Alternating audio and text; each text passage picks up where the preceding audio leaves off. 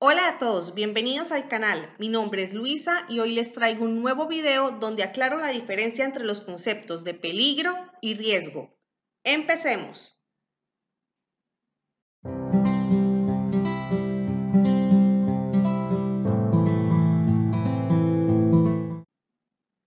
Es natural que cuando se tiene una conversación en temas de seguridad y salud en el trabajo, los términos peligro y riesgo se intercambien constantemente.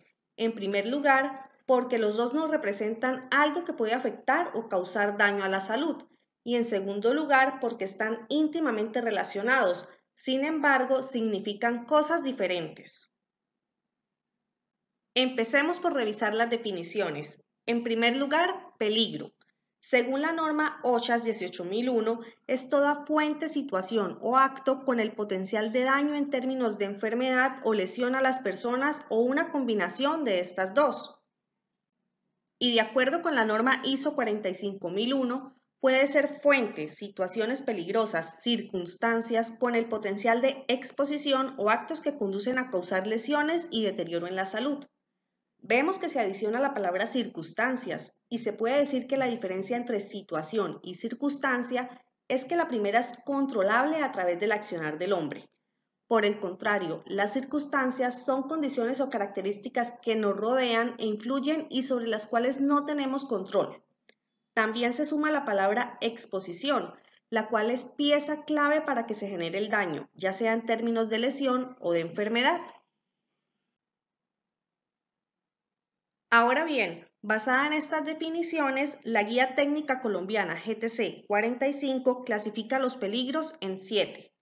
Primero, biológico. Es la exposición a microorganismos que pueden dar lugar a enfermedades.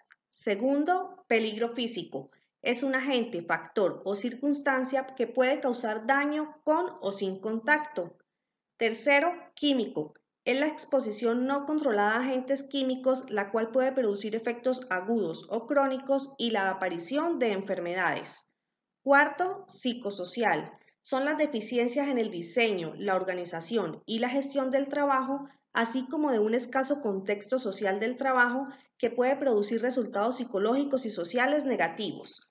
Quinto, peligros biomecánicos que son el conjunto de atributos o elementos de una tarea que aumentan la posibilidad de que un individuo o usuario expuesto a ellos desarrolle una lesión.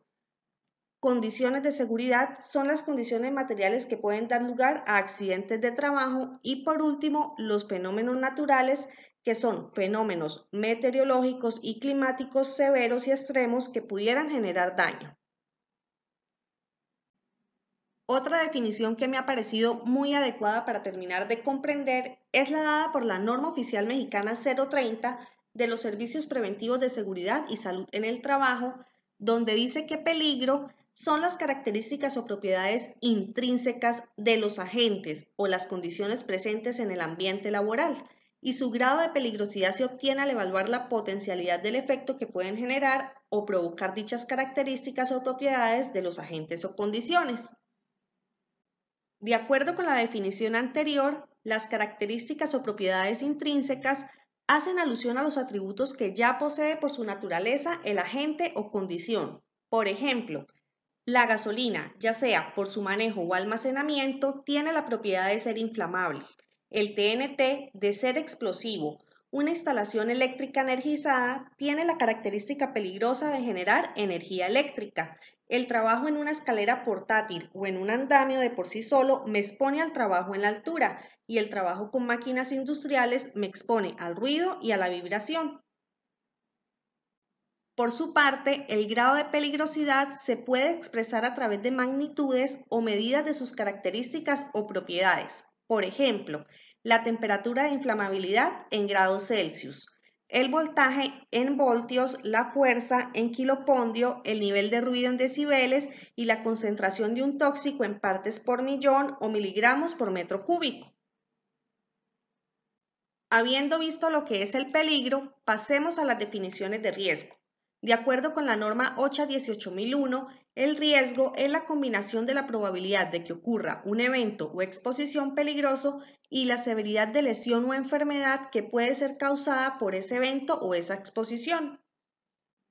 Entonces, recuerdan que la definición que OSHA nos da sobre el peligro dice que es la fuente, situación, circunstancia o acto con el potencial de exposición, es decir, que no es, no se manifiesta o no existe, pero tiene una cualidad en potencia, una cualidad intrínseca. No obstante, el riesgo es cuando ya existe la probabilidad. Así que, sin ser seguro, es muy posible que sea, se cumpla, suceda o exista. Por su parte, la ISO 45001 define al riesgo como el efecto de la incertidumbre, siendo el efecto la desviación de lo esperado, ya sea en positivo o en negativo, y la incertidumbre como el estado, incluso parcial, de deficiencia de información relacionada con la comprensión o conocimiento de un evento, su consecuencia o probabilidad. En otras palabras, hay riesgo cuando no sabemos si algo se va a dar, en la medida en la que se puede presentar y las consecuencias que pueda generar, ya sea en menor o en mayor magnitud. Esta norma también define específicamente el riesgo para la seguridad y salud en el trabajo como la combinación de la probabilidad de que ocurra un evento o exposición peligrosa relacionado con el trabajo y la severidad de la lesión y el deterioro de la salud que pueden causar los eventos o exposiciones. Y de acuerdo a la Guía Técnica Colombiana GTC 45 que adopta esta definición, la evaluación del riesgo es el proceso posterior a la identificación de los peligros que permite evaluar el nivel, grado y gravedad de los mismos, proporcionando la información necesaria para que el empleador se encuentre en condiciones de tomar una decisión apropiada sobre la oportunidad, prioridad y tipo de acciones preventivas que debe adoptar. Vamos a realizar un ejemplo práctico de esta evaluación antes de seguir con otra definición de riesgo. Para este caso tenemos dos trabajadores. El primero que debe realizar sus actividades utilizando una escalera simple de un tramo haciendo uso de casco de seguridad, gafas y guantes. Y el segundo trabajador que utilizará una escalera tipo tijera haciendo uso de todos los elementos de protección personal necesarios. Según esto, el peligro identificado es trabajo en altura con escalera. Como habíamos dicho, el nivel de riesgo es la combinación de la probabilidad de que ocurra un evento o exposición y la severidad de lesión o enfermedad que puede generar. Entonces, nivel de riesgo es igual a nivel de probabilidad por nivel de consecuencia. Este método binario se basa en matrices de severidad y probabilidad expresada en forma de frecuencia o factibilidad de que se produzcan los daños, indirectamente tres factores. Y digo que indirectamente tres factores teniendo en cuenta que el nivel de probabilidad está dado por el nivel de deficiencia por el nivel de exposición, donde el nivel de deficiencia es la magnitud de la relación esperable entre el conjunto de peligros detectados y su relación causal directa con posibles incidentes con la eficacia de las medidas preventivas existentes. Y el nivel de exposición es la situación en la cual las personas se encuentran en contacto con los peligros. Estas dos nos dan entonces el nivel de probabilidad, que es el grado de exposición de que ocurra un evento no deseado y pueda producir consecuencias. Y el nivel de consecuencia es el resultado en términos de lesión o de enfermedad de la materialización de un riesgo expresado cuali o cuantitativamente. Vamos a calcular el nivel de riesgo para el primer trabajador resolviendo la fórmula. Empezamos con el nivel de deficiencia, que de acuerdo a la tabla que se nos da en la GTC 45, pudiéramos decir que tiene un nivel de deficiencia alto donde el valor es 6, ya que se han detectado algunos peligros que pueden dar lugar a consecuencias significativas o la eficacia del conjunto de medidas preventivas existentes es baja o ambas. Ahora vamos con el nivel de exposición. Supongamos que este trabajador se expone varias veces durante la jornada laboral por tiempos cortos. Esto nos da un valor de exposición de 3. 6 por 3, 18 y esto nos da nuestro nivel de probabilidad. Siguiente, nivel de consecuencia, donde la peor consecuencia pudiera ser la muerte. Esto nos da un valor de 100 y 18 por 100 nos da un nivel de riesgo de 1800. Por lo tanto, esto se traduce en que este trabajador se encuentra en un nivel de riesgo de 1, donde la situación es crítica, hay que suspender actividades hasta que el riesgo esté bajo control y realizar una intervención urgente. Ahora vamos a calcular el nivel de riesgo para el segundo trabajador haciendo uso nuevamente de la fórmula. Primero, nivel de deficiencia. Pudiéramos decir que para este trabajador el nivel de deficiencia es medio, lo que nos da un valor de 2, ya que se han detectado peligros que pueden dar lugar a consecuencias poco significativas o de menor importancia, o la eficacia del conjunto de medidas preventivas existentes es moderada o ambas.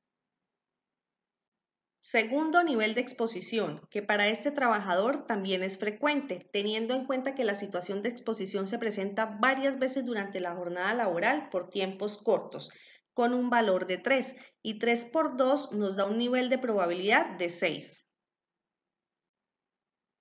Ahora nivel de consecuencia, que para este trabajador en caso de que tuviera un accidente de trabajo sería grave, porque puede causar lesiones o enfermedades con incapacidad laboral temporal, lo cual nos da un valor de 25 y 25 por 6 nos da un nivel de riesgo de 150. Esto significa que este trabajador se encuentra en un nivel de riesgo 2, por lo tanto hay que corregir y adoptar medidas de control de inmediato. En conclusión, ambos trabajadores se encuentran expuestos al peligro por condiciones de seguridad, específicamente trabajo en alturas, sin embargo, el nivel de riesgo es diferente para cada uno. El primer trabajador tiene un nivel de riesgo no aceptable y el segundo trabajador tiene un nivel de riesgo aceptable con control específico. Volvamos otra vez a las definiciones de riesgo y la norma oficial mexicana nos dice que riesgo es la correlación de la peligrosidad de un agente o condición física y la exposición de los trabajadores con la posibilidad de causar efectos adversos para su salud o vida o dañar al centro de trabajo. Como expresión, el riesgo es igual a peligro por la exposición del trabajador. Esto nos revela lo siguiente. Primero, si no hay exposición del trabajador al peligro, no hay riesgo. Y segundo, si se elimina o reduce cualquiera de los dos factores, se controla el riesgo. Así que al interactuar el peligro y la exposición del trabajador se producen los riesgos, como por ejemplo, exposición del trabajador al fuego, riesgo de quemadura, exposición del trabajador al ruido, riesgo de hipoacusia, exposición del trabajador a trabajos en alturas, riesgos de caídas y exposición del trabajador a energía eléctrica, riesgo de quemadura o muerte por choque eléctrico, arco eléctrico o ráfaga. Un ejemplo sencillo con esta definición que nos da la norma oficial mexicana es la siguiente. Tenemos dos pares de bañistas que se exponen al peligro físico por temperaturas extremas. No obstante, Dos de ellos adoptan medidas de control, lo que disminuye su nivel de exposición en el tiempo.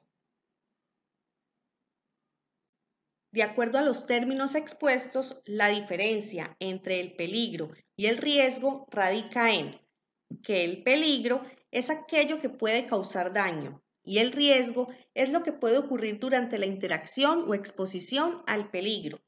El peligro no siempre reside específicamente en las cosas, sino en la manera errónea, insegura o negligente en que las manejamos e interactuamos con ellas. Y el riesgo es la probabilidad de que se materialice el peligro, es decir, que le genere daño a las personas, bienes o al entorno. El peligro es parte de nuestra vida diaria, tanto en el trabajo, en la casa o practicando algún deporte, y el riesgo es el resultado de no tomar las medidas necesarias para minimizarlo. Más ejemplos. Peligro, altura, riesgo, caída. Peligro, energía eléctrica, riesgo, choque eléctrico, arco eléctrico o ráfaga. Peligro, objeto filoso, riesgo, cortadura o penetración. Peligro, ruido, riesgo, exposición al ruido. Peligro, cargas suspendidas, riesgo, aplastamiento. Un tiburón en el mar es un peligro. Nadar con un tiburón en el mar es un riesgo. Un tiburón por sí solo es un animal con el potencial de causar daño. En este caso, el riesgo lo produce un acto inseguro, es decir, la probabilidad de que el peligro te cause daño. Un león por sí solo es un peligro. Trabajar con leones es un riesgo. No obstante, al implementar un control, en este caso una jaula para aislar a la persona del peligro, disminuye el riesgo. El piso mojado por sí solo es un peligro. Si tenemos personas expuestas, es decir, que estén por el área y no hemos implementado medidas de control, hay probabilidades de que una persona se caiga. Por lo tanto, este es el riesgo. Sin embargo, si adoptamos medidas de control como la señalización, podemos disminuir el riesgo. Recuerda, la identificación de peligros en el lugar de trabajo es solo el primer paso. Luego debemos hacer la valoración del riesgo, que es un punto importante porque permite gestionar los riesgos de manera adecuada y aminora el potencial de pérdidas, protegiendo las vidas de las personas y bienes de la empresa. Espero te haya sido de utilidad esta información, que independientemente de la definición adoptada en tu país o empresa, hayas podido comprender las diferencias. De este lado te dejo otros videos que te pueden interesar. No olvides suscribirte al canal, activar la campanita de notificaciones y nos vemos a la próxima.